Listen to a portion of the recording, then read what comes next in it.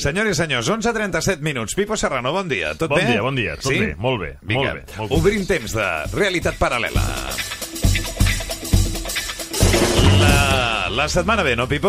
La setmana molt bé, molt emocionant per la quantitat de coses que estan passant i que encara queden per passar, eh, però especialment per les que han anat passant. Avui farem una espècie de secció... Hi hi ha dies que ens centrem, diguéssim, en una cosa més musical. Sí. Altres més cinematogràfica. Avui serà com una secció turística. Anirem Ah, molt bé. viatjant. Madrid-Catalunya tota l'estona. És una mica el que toca aquesta setmana. Toca Anar una mica, viatjant. sí. Per tant, eh, viatjarem una miqueta. Avui comencem, per exemple, per Madrid. A veure. Eh, hem de començar per Madrid. Que estic molt emocionat amb el que va passar a Madrid fa uns dies. Sí. A què et refereixes exactament? Bé, potser us n'heu oblidat alguns, eh, potser altres encara no us n'heu assabentat perquè, perquè costa, Sí. sí. però la setmana passada l'expresidenta de la Comunitat de, de Madrid, Esperanza Aguirre, va tenir alguns problemes amb la llei.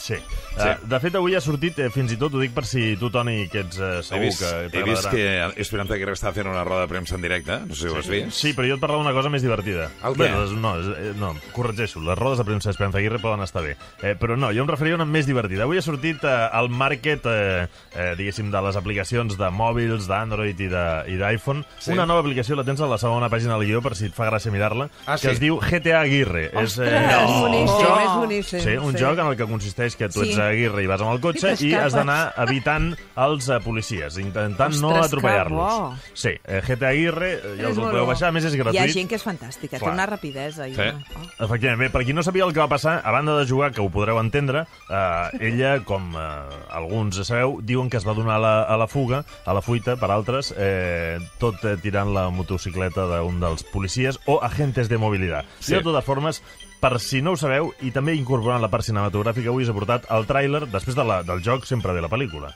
És el tràiler del que podria ser la nova pel·lícula. En aquest cas, he de dir que és una barreja entre Novia a la fuga i La huida. Sí, l'hem batejat com Esperanza a la fuga. eh, había parado un taxista delante mío, encallado, y entonces yo digo, mientras se baja el pasajero, saco dinero.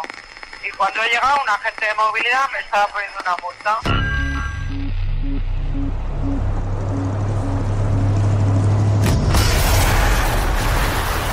Señorita, ¿está bien? Pero bueno, si ha sido un minuto. ¿Cómo te llamas? Cojo el carnet de identidad, lo saco, se lo doy. ¿Está usted bien? Pero me ha quitado usted la multa. Y dice, no, no, no, la multa ya sí la he puesto. Espero que me perdone. Oiga, yo me tengo que ir porque tengo prisa. No estoy fingiendo.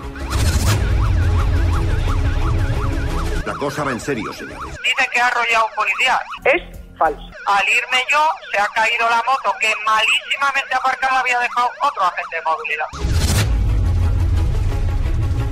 Yo estuve un minuto en el cajero, donde paré muy mal, hice muy mal, pido disculpas, cometí una infracción. Sentirse un poco mal es buena señal. Yo sé qué idiota soy porque es que soy tonta. Vamos a separarnos. Aún podemos llegar a Canadá. Yo me tengo que ir porque tengo prisa.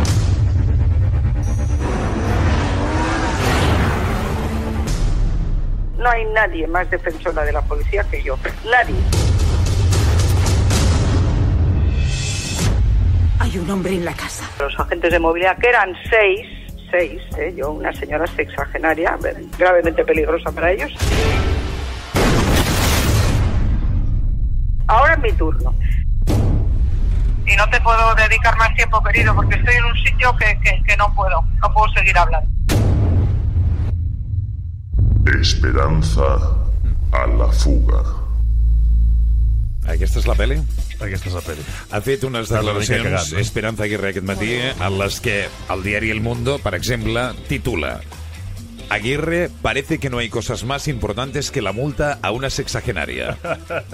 Això m'encanta. És el, el sexagenària. títol de la roda de premsa que ha fet aquest matí l'expresidenta de la Comunitat de A mi Madrid. he de dir que m'agrada molt el concepte querido. És una cosa que es destila molt a Madrid, però quan, per exemple, Esperanza Aguirre diu querido, t'ho diuen amb molt de carinyo, però igual és com si li estigués dient no me toques más, eh? Eh, eh, querido, porque me tengo que ir. Però querido, que està Sí, bé. ah, tenim el tall? Ah, i Home. tant, que volem el tall d'Esperanza aquí a la roda de premsa. Mira. Parece como si en España no hubiera problemas más importantes que el que le pongan la multa a una sexagenaria Clar.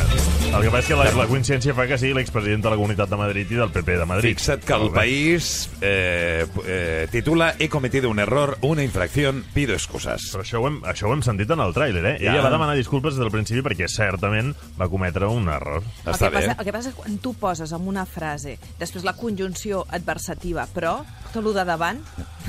és, és com amb la parella, no? Ja. La, la Carme això ens ho pot explicar. Sí, sí, sí. Si t'ha molestat, Sí. et demano perdó, però... Però ja està, ja, Ja està, ja l'has pifiat, ja l'has No, a més ja dius si t'ha molestat, no vol dir que m'he equivocat. Si a tu t'ha molestat. Escolta, però Bé. aquest no ha estat l'únic tema de la setmana, no? Hi ha molts temes. Eh, com sabeu, per exemple, dissabte vam tenir la segona volta a les primàries del PSC i en aquesta segona votació, finalment, com eh, molts deien, va ser Jaume Collboni qui es va endur la victòria. De fet, 24 hores després que Jordi Martí ja hagi anunciat eh, que plega pel PSC, perquè aquest matí ja deia que potser es presenta per Esquerra, però de moment Ho dius en sèrio? Sí, sí, sí. A mi se m'ha escapat això, una ho ha dit entrevista, aquest ho ha dit en matí. una entrevista, no recordo si a Catalunya Ràdio o a RAC1 Per Esquerra Republicana? que no ho descarta, que hi ha moltes opcions i que podria ser una Caram. de les opcions. Sí, Però en sí. qualsevol cas, eh, després que Jordi Martí hagi anunciat que plava per al PSC, Collboni ja podria haver preparat, en canvi, el seu nou spot d'agraïment per tots aquells que el van votar.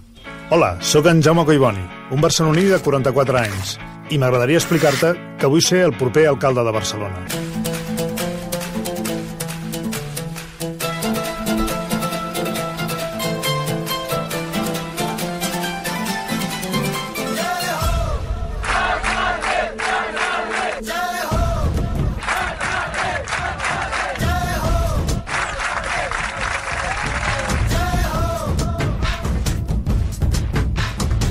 Aja, aja, jinde shami aane tal tale Em sento orgullós de pertànyer a un partit que ha donat aquest pas tan important i em sento orgullós de ser de la millor ciutat del món, de ser de Barcelona.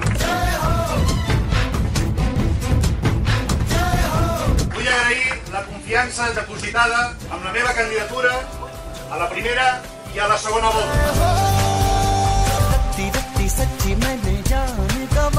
I per primera vegada en la història seré el primer alcaldable decidit pels ciutadans.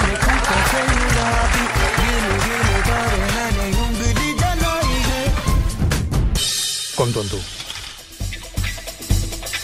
Bé, hem sentit els agraïments de Collboni Sí. havien de ser amb aquest fons tan amable. És una normal. cançó molt uh, de celebració, molt, molt xula. Per cert, tornant a Madrid, ara havíem fet una passa enrere cap a Barcelona, Sí. tornem a Madrid perquè aquesta setmana passada vam viure el judici pel setge al Parlament, on hi vam sentir eh, diputats de tota mena declarant, i on també vam viure diguéssim que unes jornades de traducció un pèl confuses. Difícils. Una mica estranya, sí. Eh, És per això que crec que és imprescindible recuperar una eina molt esmolada i que ja havíem fet servir un cop en aquest programa que, bé, vam batejar com el nou catalanitzador. Maniobra inexplicable. Nuevas ideas, ¿no? Te lo aseguro, Monse. El meu país és tan petit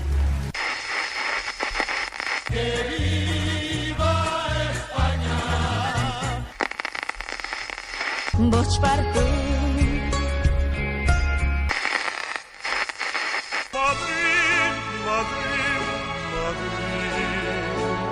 El nou catalanitzador ja és aquí. Es que nuestro interés es españolizar a los alumnos catalanes. Sisplau, parlem en català. Oh, sisplau, parla'm en català. Parlem català, és més millor. La paraula que jo utilitzaria no seria la de por. A ver, eh, mm, la palabra que definiría sería no sería la de miedo. O sería la de miedo, es lo que ha dicho. He dicho, la palabra exacta no sería miedo, Sería sino miedo, cuarta no sería. Mi libertad para avanzar.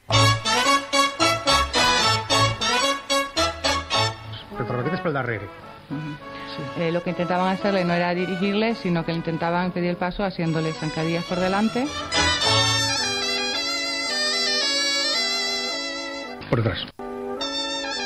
¿Cuánto tiempo lleva usted desempeñando ese cargo?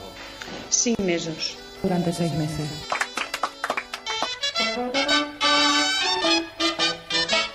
Jo desconec mm, què posa la, la declaració, mm, jo dic el que va passar. Ella desconoce lo que, pone- lo que dice la, la declaración, ella no, no sabe lo que va a pasar.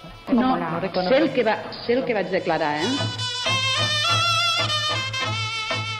Muchas gracias por haber facilitado la declaración, no ejercitando su derecho a declarar en catalán. Gracias, señoría. Lo he hecho para facilitar que no hubiera ningún eh, problema en la traducción. España necesita ser catalanizada.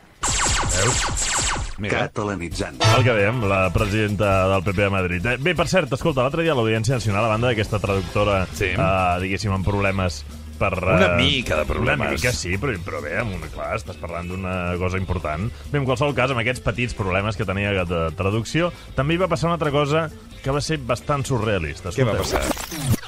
Tengo quejas, incluso eso ya es, quiero decir, puede llegar a ser una infracción administrativa de que en los servicios se está fumando. Y se está fumando incluso sustancia estupefaciente. ¿Cómo dice? Sustancia estupefaciente.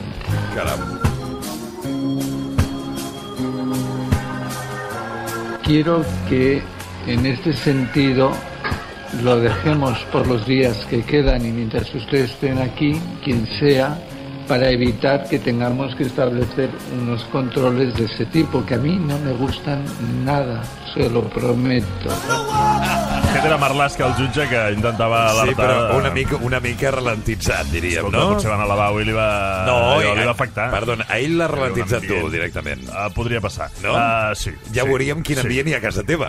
Que, També, que també, ralentitza. també ho podríem no? veure. Bé, escolta, no deixem Madrid perquè avui és un dia molt significatiu per molts catalans, com tots sabeu i com heu anat explicant des de primera hora del matí. Sí.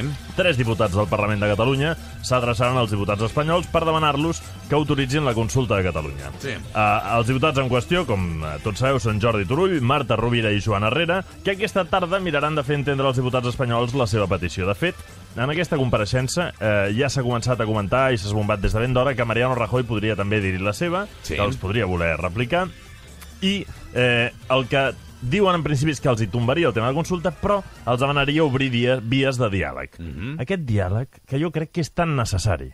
Fa massa temps que no parlem. I jo em sembla que el que fa falta és aquesta dos- dosi de diàleg, però sobretot una bona dosi, i aquí la... la bé, totes vosaltres estareu d'acord, no, no, ni una ni l'altra, ni... Fa falta molta seducció. Clar. Seducció a l'hora de negociar. Sí. Jo per això he cregut que era indispensable trucar a l'home que potser més en sap de, de seducció de tota Espanya. A veure. És un home que sedueix a totes hores, que se'l considera eh, com el mestre dels mestres amb la seducció. Ah, sí? Eh, sí, que ha escrit a més un llibre, segur que la Carme l'ha llegit, eh, la Gemma, tots, eh, que, que és Mario Luna, i que va escriure fa molt temps aquell Sex Code, ja en porta tres més, eh, i que va ser qui una miqueta va agafar el relleu, o potser estava abans que Nils Tross, aquell que va escriure aquell llibre de les tècniques per lligar, per seduir. Ahà. Doncs avui amb nosaltres el mestre dels mestres. Mario Luna, ¿qué tal? Buenos días, Mario. Hola, buen día, buenos días. Lo de la seducción, desde luego, podría ser clave para un buen entendimiento cuando las cosas están tan tensas y tan distantes como parecen estar, ¿no? Bueno, vamos, yo aquí no quiero ser, no puedo ser demasiado optimista, porque Vaya. no, no creo que las emociones jueguen un gran papel en este Ya. tipo de negociaciones. O sea, yo, es más, yo, si me lo permites, yo creo que es que ni siquiera hay negociación. O sea, yo creo que aquí hay un poco de... Las dos partes ya van con su plan, claro, tienen claro lo que van a decir, pero sobre todo yo creo que es una pose para el electorado. O sea, realmente ninguna de las dos partes está abierta a que se produzca ningún tipo de seducción, ningún tipo de negociación, nada por el estilo. Esto es como cuando, por ejemplo, se produ- una pareja organiza una cita a ciegas de otras dos personas y desde el primer momento que se ven ya se dan cuenta de que no hay feeling, de que no hay química, ¿no? Y, y- ¿No? Digo yo, ¿no? Sí, sí, sí. Y claro, tienen, tienen que hablar. Perfectamente, se podría decir, bueno, esto no- nos vamos, pero muchas veces es verdad que la gente se queda, pierde el tiempo y, Ya. y O efectivamente que entre exactamente la misma situación. Entre No hay Junqueras y Rajoy no, no, no va a no haber va a pasar nada, aquí no va Vaya. a pasar nada. Vaya, y lo vaya. saben los dos de antemano. Y una- y Pero una- tienen que posar, tienen que posar porque su trabajo también es hacer es- esto sobre todo para el electorado. Y el que se quiera creer que hay algún tipo de negociación pues que se lo crea. Pero vamos es, es lo extraordinario no es lo no es lo común. Lo Oye, si en pleno es discurso alguno de los de los eh, parlamentarios hace una sensual caída de ojos, eso no influirá ahora, para ahora. nada en eh, lo que es el, la recepción del mensaje, ¿no? Pues a lo mejor su pareja que lo esté viendo por la tele, pues igual influye en algo, pero desde luego... Pero, pero a ver, tú, tú- tú que eres un maestro de seducción, eh, ¿hay alguna manera que estos diputados, di- diputados catalanes que ahora mismo nos están escuchando desde Madrid puedan usar para intentar seducir a Rajoy y compañía? ¿Algún truquito? No, es que es lo que te digo, que es que aquí no, Bueno, la pero hay que seducción no intentarlo. juega ningún papel. Sí, a ver, yo te puedo decir cosas que sirven en, Vamos en- ahí, en vamos. situaciones normales de negociación donde las dos personas de verdad quieren llegar a algo donde realmente pueden ganar algo negociando, ¿no? Y ahí sí que hay que tener muy claro, lo primero es tener muy claro tus objetivos. O sea, ¿qué es lo que tú buscas? Si no tienes claro lo que buscas, ¿cuáles son tus máximos? O sea, ¿cuál es tu objetivo ideal? ¿Y cuáles son los mínimos? Aquello a lo que no estás dispuesto a renunciar por nada del mundo, ese es el primer, el primer pilar. Otro pilar, fíjate tú, qué curioso, es que te tienes que un poco enamorar de la persona con la que estás negociando. Te tiene que gustar ella, tienes que admirarla a ella y tienes que admirar su trabajo, su proyecto, etcétera. Pero ahora no hablamos solo de sexo, corazón. ¿eh? No hablamos solo de pillar, No, ¿eh? no, no, no, no, no. Vale. Estoy hablando de esto perfectamente. Dos empresarios heterosexuales del mismo sexo, del mismo género, se pueden reunir Perfecto. y utilizar estas técnicas que son, es- estas concretamente, pues vendrían muy bien para, para llevar a cabo una negociación exitosa. O una entrevista de trabajo o que la frutera te guarde las de mejores trabajo. frutas. Eh, Por ejemplo, una entrevista de trabajo, si tú te enamoras de la empresa para la que quieres ser candidato, para la que, para la que quieres trabajar, eso la persona que te entrevista lo va a percibir. Hay una cosa, hay una ley que se llama ley del contagio emocional, porque los seres humanos tenemos una gran cantidad de neuronas espejo, con diferencia, eh, una cosa que nos diferencia de otros Bueno, animales. unos más que otros, ¿eh? Unos más que otros. Y además, mira, ya que lo dices, las mujeres tienen más. Siempre. Porque cuando somos pequeñitos, la testosterona a los hombres nos mata unas cuantas en un espejo y no es coña, ¿eh? lo digo muy en serio. es un hecho científico, es un hecho científico. Bueno, bueno. ventajas y desventajas. Pero lo que está claro es que tenemos que aprovechar esas neuronas espejo. Entonces, para que la otra persona, para gustarle a la otra persona, tenemos que hacer que ella nos guste, admirarla, porque sin darnos cuenta, de forma inconsciente, lo vamos a subcomunicar. Hay un montón de microgestos y de, y de incluso la dilatación de nuestras pupilas, de nuestra respiración, de cosas que nosotros no vamos a tener en cuenta, pero que la otra persona lo va a percibir de forma también inconsciente. y va Oye, pero "Oye, ¿podemos este llegar a esta controlar- tía me gusta, no sé por qué, pero me gusta, me cae bien. O sea, ¿crees para que eso podemos que que llegar- es sí. enamorarte de su proyecto, de su trabajo y que te caiga ella bien a ti. Te iba a decir si podemos llegar a controlar hasta que se nos dilaten más las pupilas.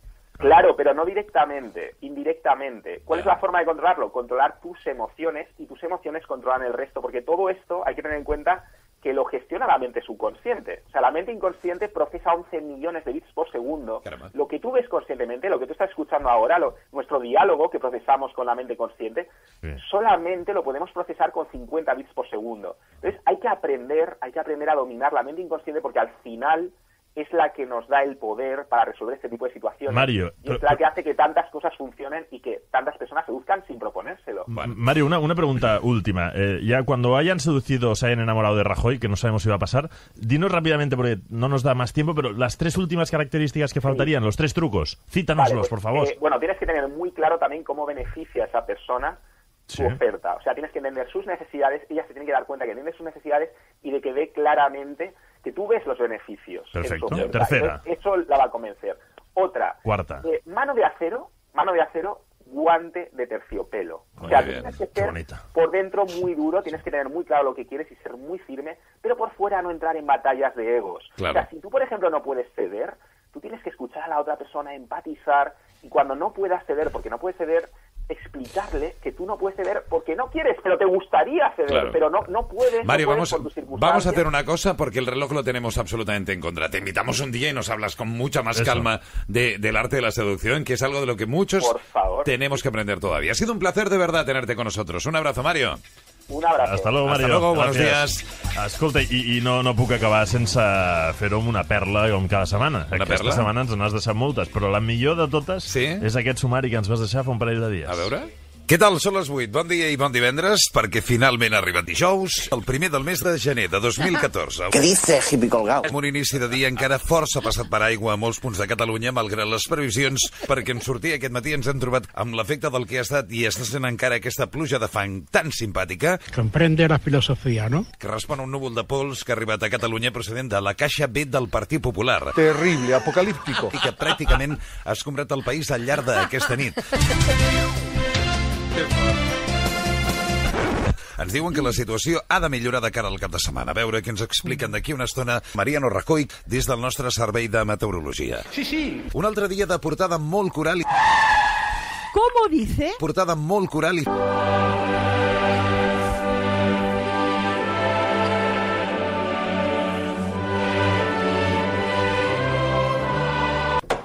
i francament diversa en quant a temes.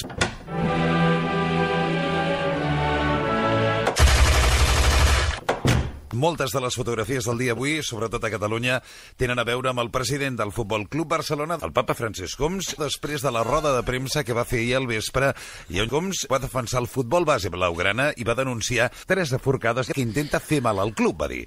Es nota, d'altra banda, en la confecció informativa d'aquest divendres, que estem només a quatre dies que arribi al Congrés dels Diputats la petició del Parlament de Catalunya perquè ens llancem eh, sorra a la taulada. I això és gravíssim, eh? Això és gravíssim, eh? Missatges creuats, un cop més des d'amb dues administracions. D'una banda, Leo Messi, de Brussel·les, insistint en que no es pot privar el conjunt del poble espanyol a decidir un fet que l'afecta directament. Soy Leo Messi y soy fan del pan tostado bimbo. I d'altra banda, Maverick Viñales, al que ell li feia costat Vladimir Putin, que l'instava a no arronsar-se. Meravellós. Val a dir que avui ha estat gran, això. M'ha encantat la paraula gilicolgao. No l'havia sentit mai.